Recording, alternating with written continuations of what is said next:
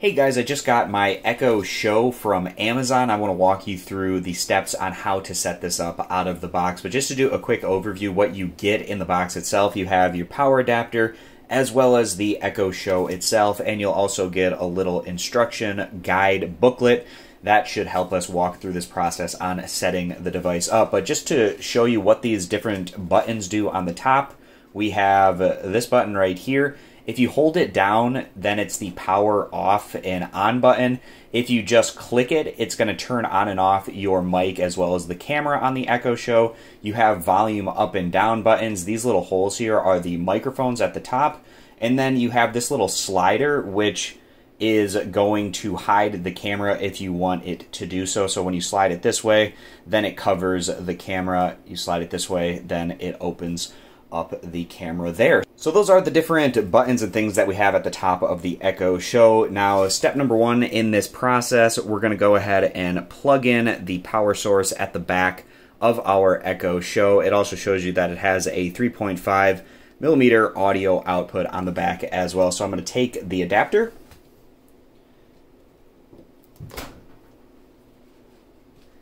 and on the back of this device, go ahead and plug it in right there. And then the other end I'm going to be plugging into the wall. So it says after you plug it in, in about a minute the display will turn on and Alexa will greet you. So we're going to be waiting for that. The step number two, it says follow the on-screen instructions to set up the Echo Show. During setup, you will connect your Echo Show to the internet so you can access Amazon services. Please make sure that you have your Wi Fi password. I'm sorry that that's a little out of focus there, uh, but that is the second step that we're going to be waiting on our device for once it greets us. So then it says getting your device online. This may take a moment. It's searching for Wi Fi networks in my general vicinity. For me, it's going to be 10 to 22, so I'm going to select that with the touch screen there. And then go ahead and select whichever Wi-Fi network is your wireless router that you want to hook up to. And then on this page, type in your Wi-Fi password. So I'm going to do that right now. And then once you have that password typed in, go ahead and click Done. And then we're going to save the password to Amazon and click Connect. So then I just entered in my password. Now I'm going to click Sign In. And now it is registering and loading. And then it wants you to confirm your time zone. I am in the Eastern Daylight Time, so I'm going to go ahead and click continue. If not, you can just select right there and change it to the time zone that you want it set up with. And then on this page, it's going to have the address that's associated with the primary shipping address on your Amazon account. If you want, you can change it to a different address if you want to do that, but it will give you things such as local weather, traffic, things such as that. So go ahead and click continue if the address is what you want it to be set up as. And then you can pick which group that you want your Echo Show in. Basically, the groups are going to be the different rooms of your house. So for me, I'm actually not exactly sure where I'm going to be having my Echo Show. So just for the time being, I'm going to use living room. And then I'm going to, since it's already there, I'm going to go ahead and click skip. And then you can name your device here. This is my first Echo Show. So for whatever reason, it's saying second Echo Show. So I'm going to edit that on this page just erase that second Echo Show and just have it be Eric's Echo Show, click Done, and then that's what I want my device name to be. So then I'm going to click Continue. And then you can choose your wallpaper on this page if you want to do so. I'm going to click the Nature option and then click Continue. And then the Echo Show is going to update and continue loading.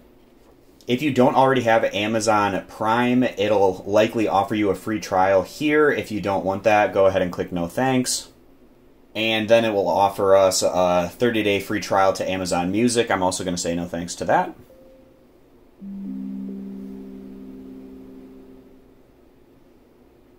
This device is ready.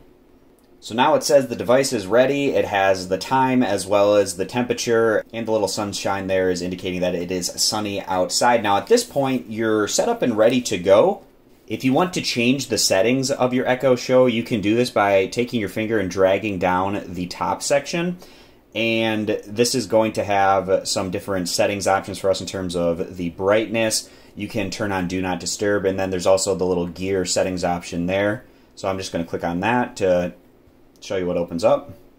So it'll have things like your Bluetooth settings, your network settings, display brightness, wallpaper and clock, uh, content, sounds, do not disturb, communication device options, and the list goes on from there. So those are all the different settings options that you're going to have in that section. So now we're going to go back to the home screen.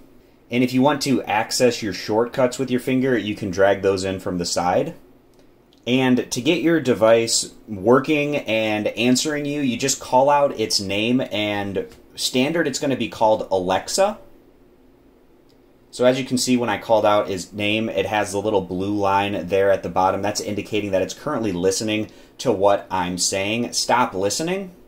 And when you call out its name, you can have it play video, such as maybe your Amazon Prime video, for instance. You can have it play movies, TV shows, things such as that. So for instance, you can ask it how tall Mount Everest is, and then it will give you that dimension. I mean, the questions that you can ask it are pretty endless. Now, with my experience, I have noticed that my Google Home devices answer questions a bit better than Alexa devices. They are improving, and we'll see how this continues over time. When you call out your device's name, it can also give you news, podcasts, weather, sports reports, control different smart home devices, video call people in your family, set timers and alarm clocks, things such as that. So there's quite a few things that you can do with this particular device, and the longer that you have it, the more you'll get comfortable with it and learning all those different things that you can use to access on your Echo Show. So I appreciate you guys stopping by. Consider subscribing, and I'll catch you back here next time.